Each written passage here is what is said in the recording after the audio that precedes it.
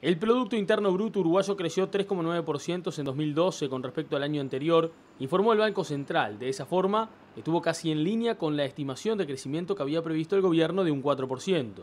El cuarto trimestre creció 4,8%, equivalente a una tasa desestacionalizada del 0,1% en relación al mismo periodo del 2011. Asimismo, durante el 2012 se registró un crecimiento en casi todos los sectores de actividad.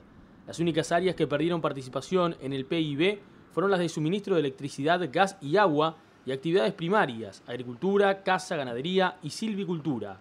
La primera fue por la baja de precios y la segunda se debió a que el crecimiento de sus precios y de sus volúmenes fue menor a la medida de la economía, según el informe.